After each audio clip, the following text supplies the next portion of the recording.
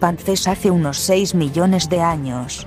Los primeros gorilas aparecieron en África hace aproximadamente 2 millones de años y seanates que evolucionaron en África hace más de 20 millones de años. Sin embargo, los gorilas